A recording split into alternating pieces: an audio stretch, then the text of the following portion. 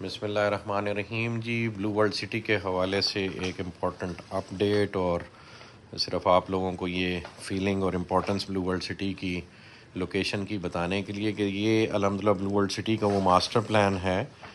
جو ہمارا موٹر وے کی پنڈی والی سائڈ پہ، الحمدللہ اس وقت انڈر ڈیولپمنٹ ہے یہ سارا ایریا اور یہاں پہ یہ موٹر وے ہے۔ اور یہ وہ ایریا ہے جی جو اس وقت آپ نے ایک ڈی ایچ اے گھندارا کا بورڈ دیکھا ہوگا، یہاں پہ لگا ہوا ہے ایگزیکٹلی بلو ورلڈ سٹی کے رقبے کے اپوزٹ تو یہ وہ ڈی ایچ اے کا وہ پہلا فیز آنے والا ہے انشاءاللہ، اور یہاں پہ یہ کیپٹل سمارٹ سٹی اس طرف بھی ہے اور پرلی طرف بھی وہ کام کر رہے ہیں۔ اور اس طرف سارا لیفٹ سائڈ پہ بلو ورلڈ سٹی کا وہ بلاکس ہیں ڈفرنٹ جو ہم نے اناؤنس کیے ہوئے ہیں، جس میں جنرل بلاک ٹو ہے، پھر پیچھے عوامی بلاک ہے۔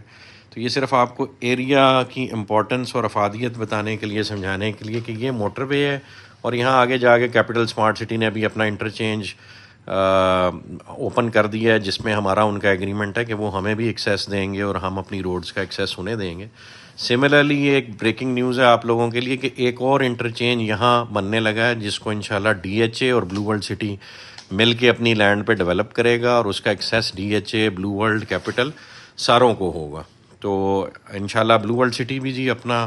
انٹرچینج ڈی ایچ اے کے ساتھ مل کے جلدی بنانے جا رہا ہے، تو یہ خوشخبری میں نے کہا بہت بڑی تھی۔ تو آپ لوگوں کو یہاں سے بلو ورلڈ سٹی کی امپورٹنس اور لوکیشن اور جس پرائز پہ آپ لوگوں کو انوینٹری ملی ہوئی ہے، اس پہ آپ کو تھینک فل ہونا چاہیے۔ ڈی ایچ اے کی ابھی کنال کی فائل کی پرائس مارکیٹ میں کوئی اسی پچاسی لاکھ پہ سرکولیٹ کر رہی ہے اور اس میں ڈیولپمنٹ چارجز نہیں ہیں۔ ڈیولپمنٹ چارجز جب ڈلیں گے، جب وہ ڈیولپ کریں گے، تو کچھ بھی نہیں۔ تو یہ کروڑ سے اوپر یعنی کو اراؤنڈ ڈیڑھ کروڑ کے قریب